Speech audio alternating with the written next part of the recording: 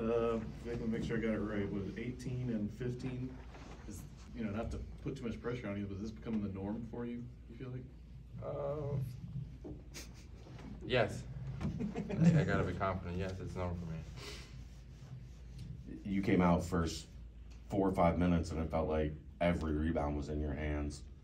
Was it just a, a matter of the ball coming your way, or were you looking to be extra aggressive today?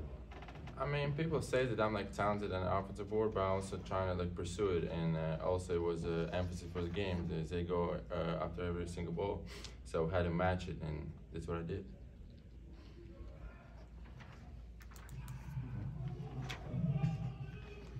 Vic, is there is there something happening as far as your comfort level, or maybe is everything coming together for you? Is something changing for you here in the last few days, in a few games? Uh, I don't think so. We just get better as a team. So like my shots uh, getting better because people created from uh, for myself. I, I happen sometimes in a better position so I can score the ball uh, in an easier way because uh, I try and keep my field goal percentage really high. And uh, nothing really like personally happened to me. It just like our team gets better, so we all get better on, uh, on offense, but we still have a long way on defense. Ody, you guys had a size advantage, especially when you and Vic were in there together. Is that something you were looking to take advantage of? Uh, I mean, yeah. Coach told us, you know, I'm looking at the roster. Uh, they weren't that big, so we went in there and uh, from the get, like the get go, immediately just started attacking them inside. But Ody led the bench in scoring tonight. Uh, you guys had a plus 13 differential, and uh, your rotational players. Can you talk about how big that is for you guys when you got to come in and fill in those minutes? Uh, I mean, shoot, everyone coming off the bench always tries to provide like a little spark, like boost the energy. Uh, you know, we're able to see like how the how the pace of the game's going. So come in there and then immediately try to work and just do our job. Top ten and threes made coming in this game. Detroit Mercy was how important was that running them off the line, especially in that first kind of flurry? They made five threes to start, and you guys pretty much shut them down the rest of the game. Yeah, that was on the scout. Uh, especially, uh, you know, shout out to them. They a good three-point shooting team, and uh, we just tried our best to keep running them off the line, trying to limit their attempts and everything. But you know, shout out to them. They they were able to make a couple hitters for a couple threes early on. Ody, we saw your confidence grow here as of late, starting with that game um, versus Xavier.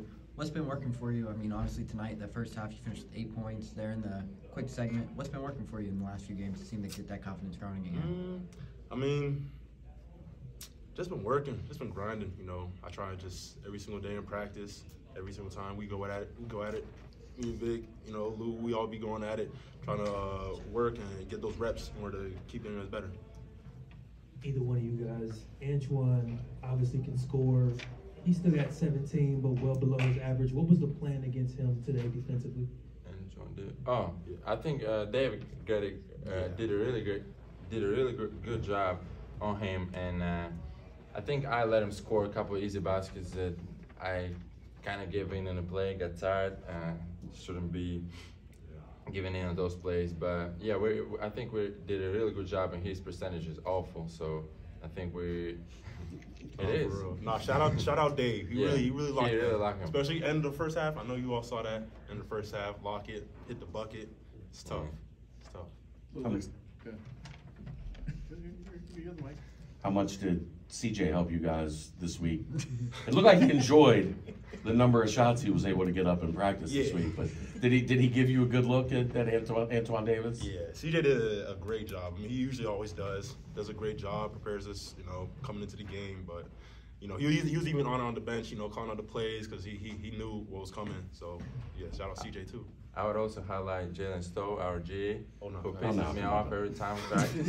go, go into me. I hate you, Stowe. Stowe talk the most trash on the team.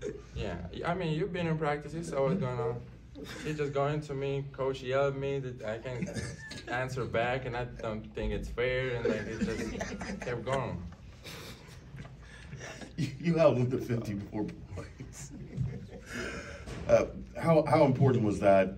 A team like this, defense has been something that you guys need to improve on. Is this a step in the right direction to take a team that can score like that and hold them to 54? Yeah, I mean, I think it's definitely a step in the right direction. Um, we held them, I think, well below, like you said, like held some of their players well below their averages and everything. You know, everyone was on top of it, and uh, I think we met we met like uh, a lot of our numbers. We have these numbers that we got to meet coming into the game, and uh, you know, we, we were right there on the mark. So, defense taking a step. Any other questions? Thanks, guys. Merry Christmas, Merry. Christmas, everybody.